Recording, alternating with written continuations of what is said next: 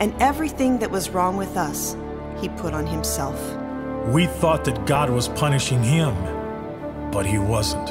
It was our sin that crushed him. He was bruised and we were healed, set free from the brokenness of our lives. He stood up to death. He looked it full in the face and didn't back down.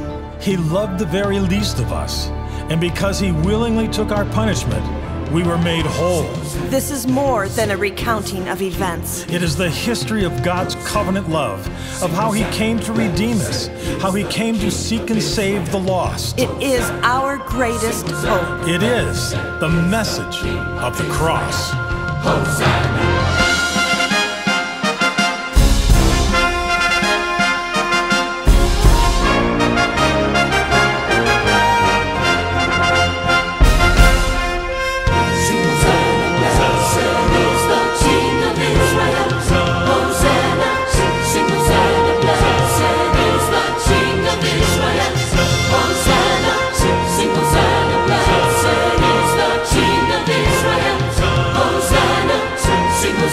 blood.